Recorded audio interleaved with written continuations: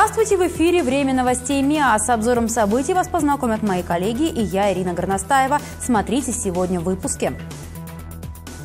Курс на новый президентский срок. Губернатор Борис Дубровский прокомментировал выдвижение Владимира Путина. Опасное соседство. Будет ли ветлечебницы в жилом доме? Загранпаспорт для ребенка за сутки. Миграционная служба проводит новогоднюю акцию. Выборы президента России все ближе и ближе. О намерении Владимира Путина выдвинуть свою кандидатуру стало известно вчера на встрече, посвященной 85-летию Горьковского автомобильного завода в Нижнем Новгороде.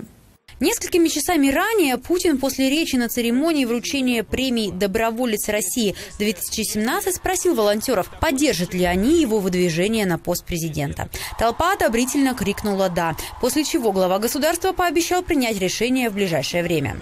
На заводе в Нижнем Новгороде один из сотрудников напомнил Путину его слова на форуме добровольцев. Спасибо вам за поддержку я буду выдвигать свою кандидатуру на должность президента Российской Федерации.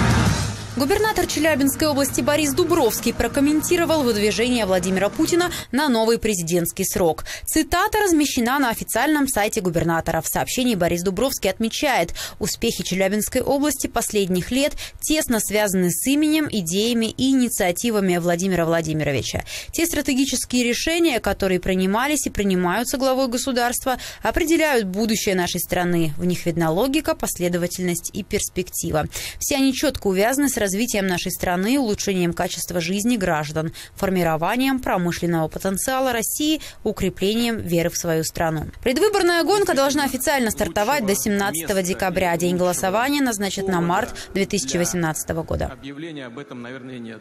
Филиал ветеринарной станции в жилом доме. В прошлом году ветстанция передала городу несколько земельных участков и здания в старой части города.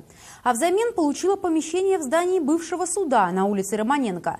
Но депутаты не одобряют такое решение, хотя самим жителям дома ветклиника пока не мешает.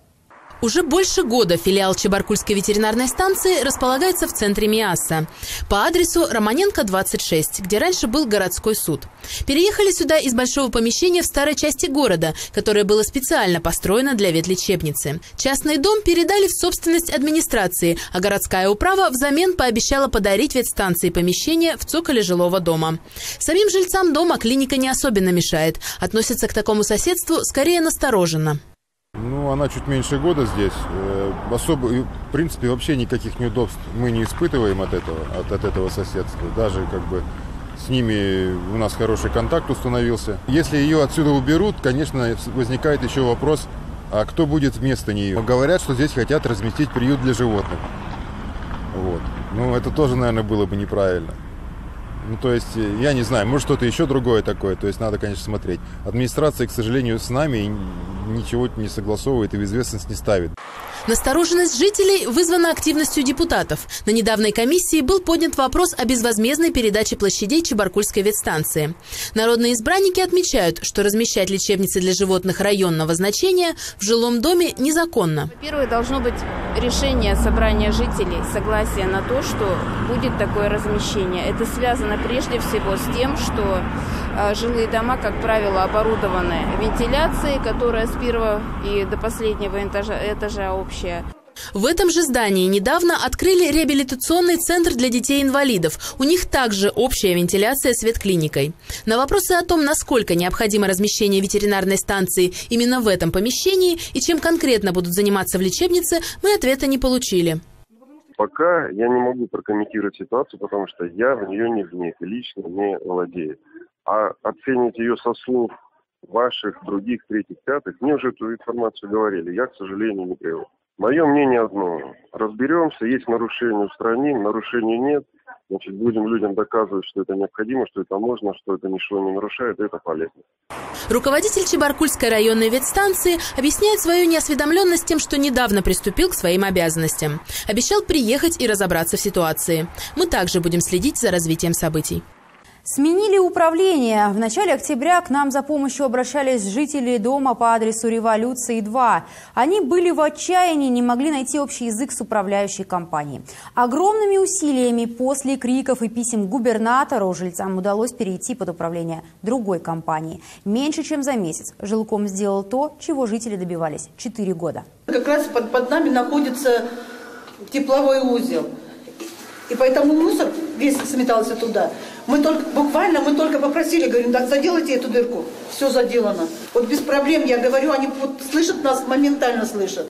Жильцы дома по адресу площадь Революции 2 радуются новым доскам объявлений, отремонтированным подъездам, тому, что свет теперь горит на всех лестничных площадках. Дом был построен в 2013 году и обслуживался компанией Техком. За это время у жителей накопилась масса проблем и вопросов к управляющей компании. Жильцы добились перехода в другую организацию и сразу же заметили изменения. До ноября месяца нас обслуживала, обслуживала э, управляющая компания Техком. С ноября месяца нас теперь обслуживает управляющая компания «Жилком». За месяц, за, за, буквально за этот месяц, компания, которая от нас еще не получила ни копейки, сделана действительно очень огромная работа проведена. Четыре года с момента постройки дом был без опознавательных знаков. Только сегодня появилась табличка с адресом. Вместе с руководством компании «Жилком» жители уже наметили план работ на будущее. У здания проблемы с кровлей и наружной обшивкой стен. По протечкам по кровле, да, действительно мы обследовали, есть протечки, но так как это делается все в плюсовую температуру, а сейчас уже у нас зимний период, провести данный вид работ мы будем планировать только на весну 2018 года. По подвальному помещению скажу еще, что буквально через там 4 дня нашего управления приехала жилищная инспекция с осмотром. Нам было рекомендовано выполнить определенный вид работ, что мы уже на сегодняшний день все выполнили. Главное, что после долгой и упорной борьбы за свои права жителям все же удалось добиться перехода в управляющую компанию, которая им нравится. Диалог между сотрудниками жилком и собственниками квартир налажен. Как рассказал технический директор управляющей компании, жильцы сами смогут решить, каким они хотят видеть свой дом, а также какую сумму хотят платить за содержание жилья. По тарифу ничего, никаких изменений не произойдет. Все это будет счет содержания жилья, без всяких целевых сборов. Но опять же скажу, что по решению жителей. Он может и измениться, и в меньшую сторону, и увеличиться. Жители дома выиграли свою революцию. Пригласили нашу телекомпанию заехать в гости через год, когда будут произведены основные работы, и посмотреть, как преобразится их дом. Школа Олимпийского резерва. Такой статус получили сразу три учебных заведения МИАСа. Таким образом, наш округ стал единственным в Челябинской области, где больше половины спортучреждений обладают высоким статусом. Каких трудов стоило получить престижное звание и как оно повлияет на учебный процесс, расскажет Валентин Ефимов. К своим нынешним победам спортсмены отделения парусного спорта шли с самого основания школы с 2003 года. С каждой новой победой рос статус отделения и мастерство ребят. Мы в этом году наездились, да, и на мир съездили, на чемпионат мира там выступили хорошо, и на всероссийских. А в последние соревнования в Геленджик закрыли сезон, там выступили хорошо. Первый, второй и пятый вот самые лучшие, ну и десятые вот такие. Ну, для нашего города, маленького, небольшого, такие результаты – ну и в каком положении мы находимся, я думаю, это большое достижение для меня. Мы проделали большой путь к этому и достигли до самой высшей точки стать школой резерва для города Миаса. Благодаря прежде всего им и другим э, отделениям, таким как, э, скажем, горные лыжи Христа, сноуборд, э, Наша школа приказом Министерства спорта Российской Федерации 20, а от 26 сентября этого года получила статус школы Олимпийского резерва. Кроме гордости за свои спортивные достижения и высокий статус спортшколы, почетное звание принесет ребятам и улучшение в тренировочном процессе. Теперь спортсмены вправе рассчитывать как минимум на обновление и покупку нового спортинвентаря. Статус э, спортивной школы Олимпийского резерва э, школам, во-первых, дает это дополнительные субсидии из областного федерального бюджета. А, вот с тем, что, допустим, у того же старта уже присвоена школа Олимпийского резерва на следующий год, им уже выделена федеральная субсидия в 2,5 миллиона на приобретение спортинвентаря. Как рассказал руководитель управления спорта МИАСа, документы были поданы летом текущего года. Процедура оказалась не такой уж простой, как может представиться на первый взгляд. Владимир Васильев отметил, что среди критериев оценки учреждений спортивных направлений были результаты воспитанников за последние несколько лет. А, как известно, Мяскому округу есть чем гордиться. В итоге статус спортивной школы Олимпийского резерва получили спортивная школа номер 4, конькобежная секция и отделение по легкой атлетике, спортивная школа «Вертикаль», отделение скалолазания и спортивная школа «Старт», отделение парусного спорта, фристайла и сноуборда. Стоит отметить, что правообладателем высокого статуса в МИАСе является спортивная школа Олимпийского резерва, отделение тяжелой атлетики. Оно было присвоено ей еще в 90-е годы. На сегодняшний день четыре спортивные школы МИАСа из шести носят звание олимпийских. Валентин Ефимов, Андрей Назарук, ОТВ. Получить загранпаспорт за несколько часов до наступления Нового года, чтобы улететь с семьей за границу. Миграционная служба объявила праздничную акцию. Загранпаспорт на ребенка младше 14 лет сейчас можно оформить за сутки. Заявление нужно подать через сайт госуслуг. Необходимо зарегистрироваться, подтвердить свою учетную запись, выбрать услугу по оформлению заграничного паспорта для детей до 14 лет, отправить заявление. Когда заявление будет принято сотрудником управления либо подразделением по вопросам миграции, вам будет направлено сообщение о приглашении для того, чтобы предоставить необходимый пакет документов. Специалист свяжется с заявителем в режиме онлайн, чтобы обсудить время, когда будет удобно прийти за документом. Вся процедура от подачи заявления до выдачи паспорта занимает 24 часа. Туроператоры заявляют, в первые дни декабря вырос спрос на зарубежные туры. Они популярнее внутри российских. Южноуральцы подбирают путевки на праздники. Можно попасть на выгодные акции. К примеру, во Вьетнам встречались горящие туры за 22 тысячи рублей на человека, а на Гоа за 11 тысяч. При этом средний ценник для зарубежных курортов в выше от 30 до 50 тысяч рублей. Туры на российские горнолыжные курорты, в том же Сочи, стоят примерно столько же. Однако южноуральцы все же предпочитают ездить на Новый год к морю. Конечно, в тепло. Конечно, в тепло. Нам, еще раз говорю, очень нужно солнце. Нам очень нужны положительные эмоции.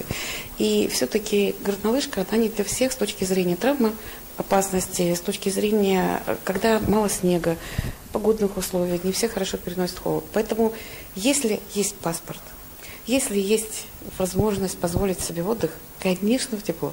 Миасцы также этой зимой предпочитают всей семьей ехать в теплые края. И в этом году желающих больше, чем в прошлом. В основном отдают предпочтение Индии и Таиланду. Там красиво, тепло и, главное, туры экономичные. Также пользуются большим спросом Шри-Ланка и остров Занзибар. Но этот отдых дороже. Миасцы начали заказывать путевки на зимние праздники с начала сентября. Турагентства предупреждают, за две недели до Нового года путевки вырастут в цене на 80%. Поэтому многие семьи уже купили билеты и собирают чемоданы в теплые страны. Ну а тем, кто ждет горячих предложений, как раз подойдет акция миграционной службы. Добавлю, что если в прошлом году при помощи портала госуслуг загранпаспорта получили около 9 тысяч человек, то за этот год их количество превысило 57 тысяч. Отмечу, что при использовании электронного сервиса на услугу предоставляется скидка в размере 30%. У меня на сегодня все. Наши сюжеты доступны на сайте 1obl.ru, а также в группе ВКонтакте «Телевидение Мяса». Предложить свою тему для сюжета можно по телефону 25 0055. Завтра итоги недели подведет Дмитрий Скляров. Спасибо, что были с нами.